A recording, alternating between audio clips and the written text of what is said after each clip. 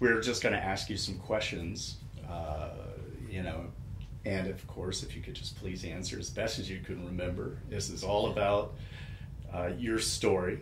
Okay. And so, in, in some ways, it's it's not just about water, but it's about you and and and the whole Cabbagetown game. there you go. And uh, so, one thing that we have noticed is that there used to be certain types of water sources in the neighborhood Mm. that we visibly can't see any longer. Um, are you familiar with any open water sources that once existed in the neighborhood? No, what I do remember is about when I worked in the mill, they uh, had a river running under it, and I saw it only one time. But I mean, it was way, way down in the ground, and it was running really swift. And uh, I know how the waters down on Powell Street used to rise up uh, when it got to raining real hard. And right here on Brent Avenue, before they built the crowd bought these houses and built, the water would just rise up to the bottom of the porches down on Brent Avenue there. And more houses set up on uh, brick pillars, and it would take days for it to go down. And uh, but I heard the uh, my dad tell a story about the uh, gas company I heard next to behind Rogers' store. It's a Gobby now, but right back in it was Rogers, and he was uh, I think Mr. Guthrie lived there on the corner where you got your place at, and him and Dad was out there talking, and the gas company was out there digging for a gas leak, and it dug down so deep there was a, a body had, had washed out from the cemetery over there and come out. Uh, and I also heard the people, some of the old folks talking about the uh, water running under the mill. It run uh, would run all the way over uh, past Moreland Avenue down to a little bridge right over there. I don't know how true that is. I've never seen it, but uh, I heard a lot of the old folks say that there was a river running under the mill, and it run, you know, so. And then the water coming up on Powell and flood and all that, and the kids play in it, and, and down on Brent Avenue. But that's about all I uh, knew about the, you know, the water situation. And then uh, too, I guess good 25 years ago, it would uh, come a flood and down on the corner where you live at was just, it was waist deep then, you know, and then, but that's about all I can tell you about the uh, water situation that I know of. Uh, you do mention uh, that you saw this river yourself at one point. Oh yeah, it was, yes.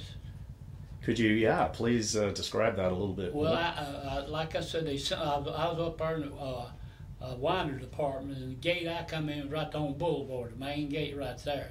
And uh, they sent me, uh, I think, it over to the weed shop, and I'm trying to think where that was. That the plate was off of the, uh, uh, the it was just a square hole there, and, uh, and uh, I heard water just running. And I looked down in, and it was it was pretty pretty deep down there. I mean, it was just just roaring. And uh, I thought that's a long way down. If I was to fall in there, then it would find me. But but, that, about I think it was back in '55 when I was 17 years old. And uh, but that's that's the only time I seen it, and I, was, I can't for the life of me remember what part of the mill it was at. Uh, so, if that water was underneath the mill, what do you think uh, the water was for?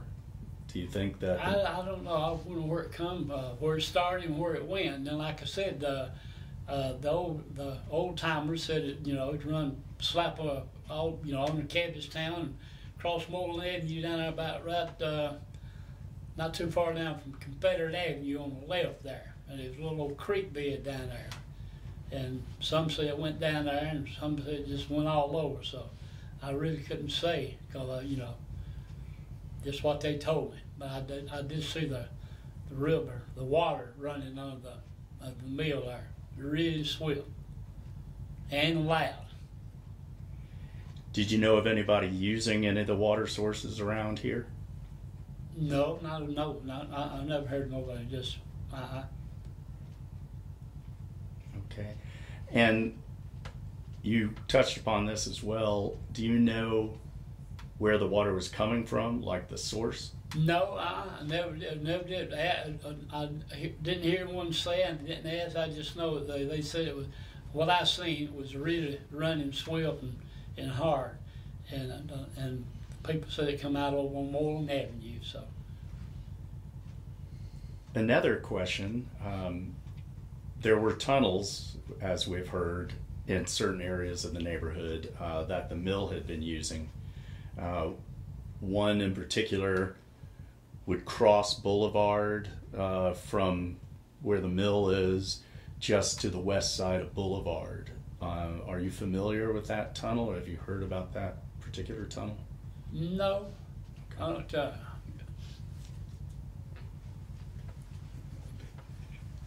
you're not talking about the underpass. You said a tunnel, like a like people tunneling for coal or a mole tunnel. Yes, sir. No, I hadn't. No, I haven't heard anything about that. Okay. All righty. Um, Nina, can you think of anything to ask? This is all pretty quick. I mean, because this is a very specific interview. Tunnels and water. Well, I do have okay. Just just to play devil's advocate, really quickly.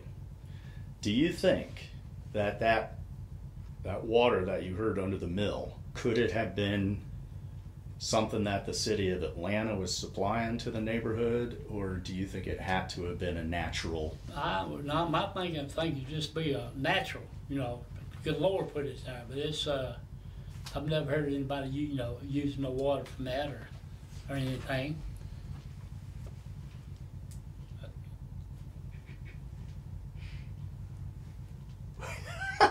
Your brothers. That's okay. Um, so when you were on the working in the mill, Uh, I guess this might be my final question.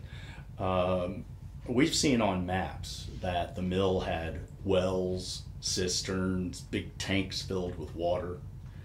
Um, do you are you familiar with those and Well- what they how they would fill them and how they might use them? no, I didn't hear about that, but I do know the well. There's a well in this house right down uh, Carroll Street, where Ed lives at. Backyard. You know what I'm talking about? in My backyard. I met uh, right here on the corner of, of Gaskill and Carroll Street. Uh, that used to be Boots and Davis five and ten cent store. And mom would uh, the lady living in that house next to there, what I was talking about. I never did know her name, but I remember mom carried me down there to visit that lady, and the well was right there in the backyard. And when I moved here 31 years ago, you could still see the uh, uh, well where people had filled it up, you know, come up top. I remember the outhouses used to be around here on, you know, but the well, uh, that's the only well I, I can remember uh, uh, seeing as a child and all, but How would people fill those wells? I guess it was just, well, I don't know, if, uh, that's a good question, but, uh, they had, they had the bucket and rope there, right, you know, and, uh, just, uh, I guess dip it down, I don't know where the water come from, unless it's coming from that, uh, water coming, you know, under the mill, so that's a good question, I hadn't had it. Uh, when did when did y'all have running water in your home? Oh, we've, uh, let's I was born in thirty-eight, and it's, uh, it, uh, we, we've always had running water. Of course, had fireplace and wood stoves, you know, but, you know, I always had running water. Yeah, because sometimes we hear stories that indoor plumbing and water wasn't available until sometime in the mid 40s. Nowhere, yeah, well, it's, uh, like I said, I was born thirty-eight, and I, uh, yeah, we, uh, part, we've always had running water. See, that's good to know. Yeah, yeah, Um, yeah, that's pretty good.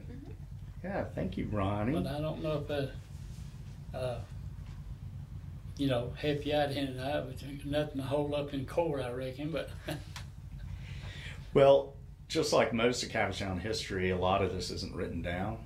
A lot of I mean, even something that seems so normal as Mm. water, like you turn on your tap water and you never even think about where it might be coming from or how long Well- it's even been there. So you you you think the uh, water that's running under the mill is dried up, or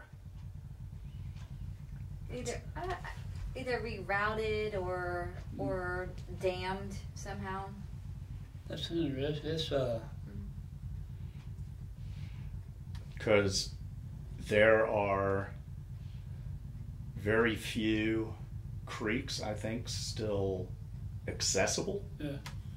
So, but what that means as as to their current condition, you know, because from what we can see in maps, quite often they go underground and then Uh-huh. they resurface and Right. then they go back underground again, and uh, and that's what we're trying to determine is how much of that was above ground in Cabbagetown, how much was below ground, and whether people in the neighborhood, and especially the mill, tried to tap into those water sources, Mm. especially, you know, in the earliest years. yeah, But um, but also, yeah, for people in the neighborhood, residents, if I mean, you had running water, which is you something. yeah, So the city of Atlanta was supplying you with water by the late 30s or sometime. yeah, When- cause, yeah, because uh, uh, I remember, yeah, uh, about seven, eight years old, uh, take a bath in a more big old tub. That's uh, about 40, 38. Yeah, seven, eight years old. You take a, you know, take a bath. Mom give us a bath every night, and so we had we had water back in. So And um, do you, are you familiar with any swimming pools in the area? no, uh, they uh, almost one not not in Cabbagetown. No, uh, until it come a flood, you know, and, and like I said, on Powell and and uh, especially on Krog Street down the underpass there, that water dries up. I guess it uh, consider a swimming pool when it rains, but Your lake. yeah, yeah, on Special Lake, yeah. All right. Well, uh, thank you. Anything else you'd like to add? No, that's about all I can remember about Cabbage Town. Vegetable town. All Yeah. right. thank you, Ronnie. Oh, you're more than welcome. Oh, actually, Garbage one town. He said garbage town. garbage town. Oh, actually, would you mind one last time repeating your name? Ronald Edwards. Could you please say like my name is? Oh, my name is Ronald Edwards, and I live at 604 Gaskill Street. Born and raised down here. Perfect. Yay!